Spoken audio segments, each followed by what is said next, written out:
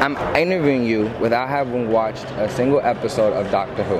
Oh, don't worry, I'm used to being interviewed by people who do that. Why do you think Doctor Who was successful? I mean, Doctor Who, well, why is it successful? Well, it's uh, partly because they every now and again they change the actor playing the role. There have been 12, I think. 12 doctors over the years, 50 years of Doctor Who. It's also a program that can go anywhere. It's about everything.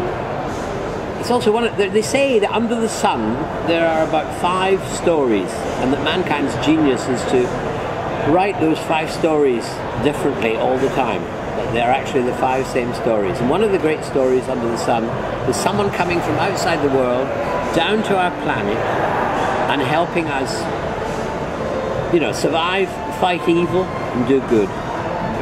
Religions have been based on it, and Doctor Who is the same story and that's one of it. It's one of those attractive stories, one of the five that people love. Over years as an actor, like what, what's your relationship been like with the fans? I became Doctor Who 28 years, 28 years I think 1987.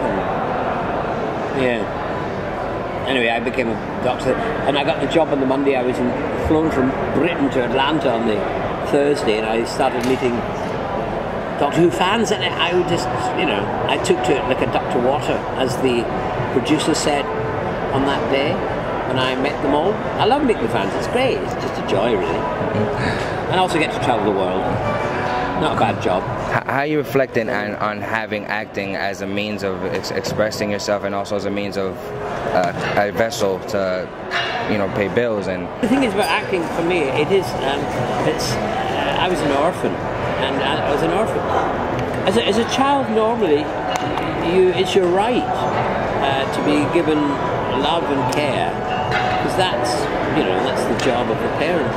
You're right. You don't have to demand it. It's there. Whereas as an orphan, then you have to work for it, and that means that you have to you know smile a lot, become expressive, and that's a journey into acting, as far as I'm concerned because you become a bit of a show off. And you know, you, you want people to notice you. And so, um, you know, that starts the acting course. You don't have to go to drama school, just become an orphan.